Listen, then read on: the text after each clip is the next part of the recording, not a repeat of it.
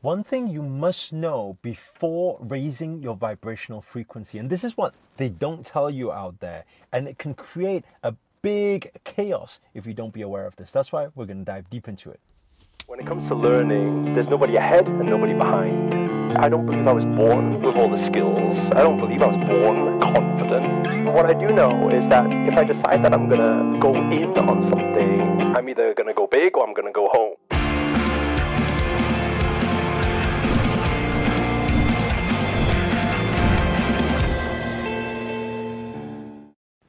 So a lot of people today is always asking how to raise vibrational frequencies, to be able to connect deeper to the source, to be able to attract what they want in life. But one thing you must, must, must be careful of, which nobody tells you, is what actually happens when you are at that high vibrational state. And that is all the chaos that can actually happen while you're in that state. And let me explain what I mean by that.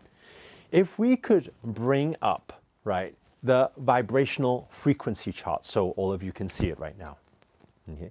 You will start to see that you have the sadness, the fear, the jealousy, all of those things at the bottom side. Then towards the top end, you have in this sequence, you have love, joy, peace. Now, it depends to what state you bring yourself into high vibrational frequency with. That's why when you get like uh, monks and yogis, let's say, through meditation, getting into this high blissful state is actually a very different experience to you just moving your body, jumping, dancing, singing, and getting into high vibes. Don't just think that love and joy will get you into a high vibrational state to be able to attract what you want. Because think of it like this, okay? Let's say, for example, um, we have your phone, right, to call the universe. Then you have a signal. Okay? What the vibrational frequency chart shows is basically the higher the vibrational frequency, the more you are connected to source. Meaning, if you are more connected, meaning the signal is at its peak, at its best, at its optimal. When it's at optimal, it means that they can hear nice and clear exactly what, you, what orders you want to place. Okay, so you're like, okay, deliver me a girlfriend, deliver me some money, and then they can hear nice and clearly, and they say, oh, I got it, nice and loud, nice and clear, here you go.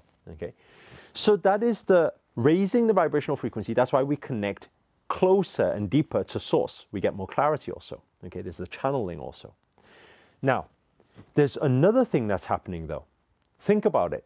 When the signal is clear, they hear everything clearly. Everything. Not just the things you want. It's not just in the morning, I do some incantations, affirmations where I say, I am powerful, I want to manifest money, I want to manifest success. They don't just hear that part when your high vibrational frequency is there, they hear everything. Meaning that the moments through the day, if you're in high vibes, right? You're in a lot of joy. Somebody comes up to you and say, hey, you idiot, manifestation. When you think about it, manifestation. Hey, why are you so stupid? Manifestation. These negative news comes up while you're being positive. You think you're fending it off, yet at the same time, it's absorbing and it's directly that thought is sending out to universe. So actually, we become more sensitive to actually both when we're on a certain level. That is only of love, and joy. But then, peace, bliss, enlightenment, when you get to the highest levels of high vibrational frequency, that is at peace. So what does this mean? Okay.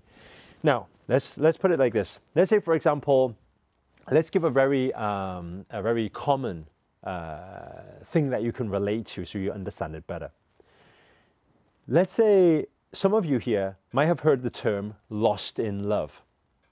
What is that referring to? That's referring some people they're so in love that they don't know what they're doing and they do stupid things, right? And you think about it this way, right?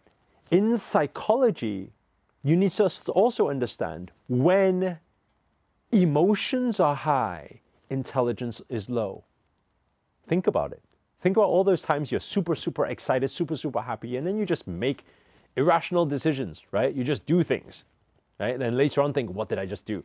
Sometimes on the other side of the spectrum, right, still emotions are high. You're really, really upset. You say all these bad things, and afterwards you're like, oh, I'm so sorry I said that. I didn't mean it, right?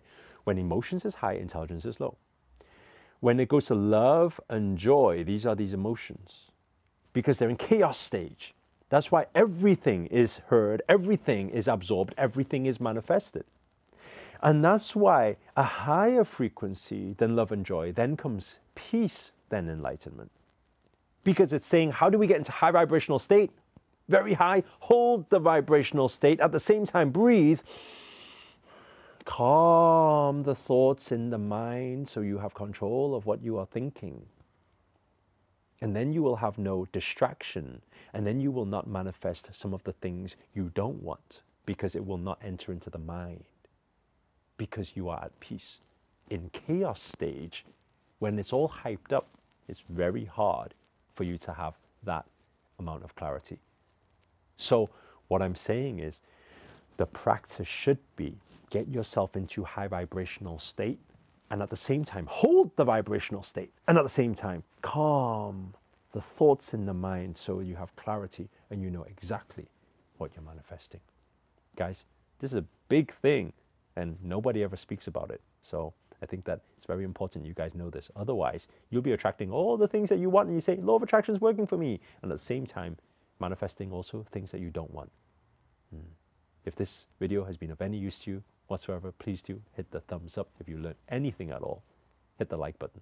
Also, comment below, let us know your experiences of it all. And also let us know where you guys have tuned in from. That's always nice to know.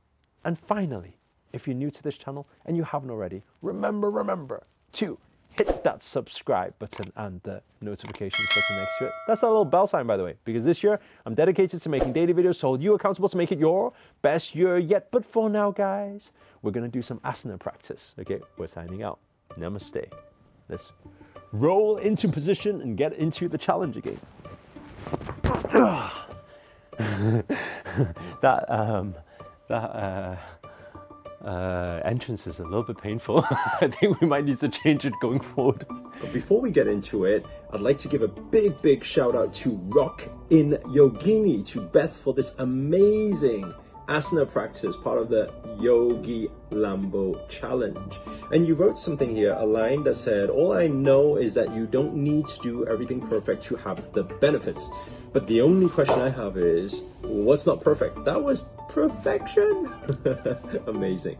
Namaste to you. Um, guys, we're doing something um, very uh, simple. Well, it's simple for some, you know. It's simple for those who are sim- who find it simple, but um, it's challenging for some. But we've got some alternatives for you guys to actually do this move. Okay, so what we're going to do is we are going to um, stand up.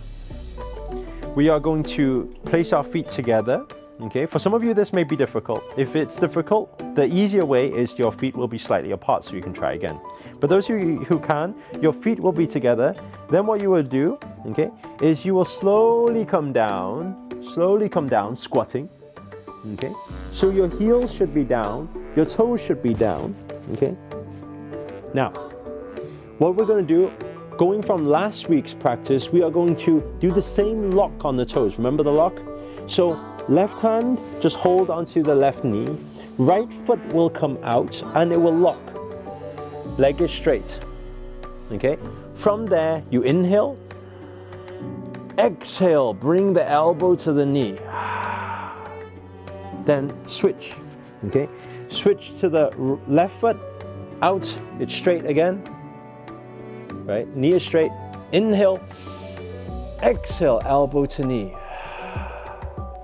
And those of you who want to go a little bit more fancy, so those of you, by the way, if you're feeling challenged by that, then obviously maybe you're not on your heels yet. So heels are slightly up. Okay, maybe that'll make it easier for you. Try to balance. Okay, but this is ideally what you want to be able to put the heels down. Now, for, so for some of you who still feel it's challenging, you can try separate the legs slightly. This will give you a little bit. It'll be less pressure on the feet. Okay, so you can do it with feet apart also. But those of you who can, can, can, can, can, and want to go a little bit more fancy, we're gonna do it like this, okay? You can try this and see who can get it. So we wanna lock both toes. Okay? Lock both of the toes at the same time with the heels down. Okay, so hands are stuck now. One foot comes out slowly. Inhale, exhale, elbow to knee. Switch.